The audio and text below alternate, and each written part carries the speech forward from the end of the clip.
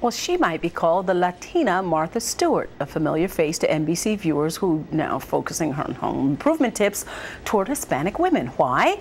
Lynda Baquero finds out in this week's Visiones. This is a public affairs presentation from For New York, Visiones.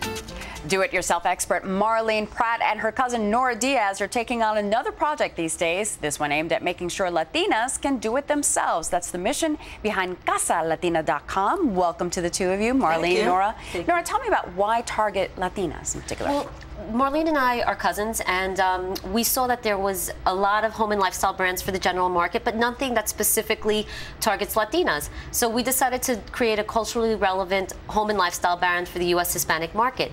And Marlene and I were talking about it one day, and we said, let's do it. And we started thinking of names, and Marlene thought Casa Latina. Perfect. And I said, that's it. And that, it was born, and it moved forward. And tell me about, you got lots of projects on the site, including a special quilt. Yes. Well, actually, I have a sample of one here. What we're trying to do is we need a symbol for our company.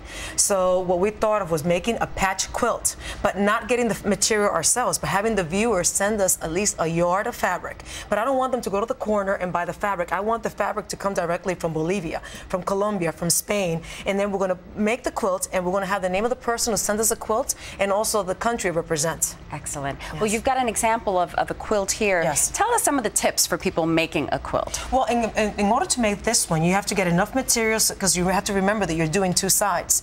You got to cut them down to size. Do not attach them to each other right away. Lay them out. Mm. Stand back. Even, even if you have to stand on a chair so you could get a better view of it, right. do that because you want to make sure that everything is covered before you start stitching it up. Right. And always remember to get your batting. And I have a small piece here that you can see that the batting is already attached to it. So depending on how thick you want the quilt to be, that's how thick you want the batting to be. Excellent. Well, there's mm -hmm. wonderful tips. More on the site. And tell me also, what is the web address and where people can find you guys? Well, you can go to www.casalatina.com and we have a lot of information there. And then we do segments on um, NY1 Noticias, on Telemundo, and um, we're doing something exciting now that we're yeah. starting with the Home Depot in Long Island City. We're going to do how-to clinics for the U.S. Hispanic market. So in Spanish, Marlene's going to be teaching people how to fix things, how to organize their rooms, um, and we're partnering with Home Depot on that. So that's Excellent. very exciting. Nora Marlene, always great to see you. Thank, Thank you, you so much. Thank you.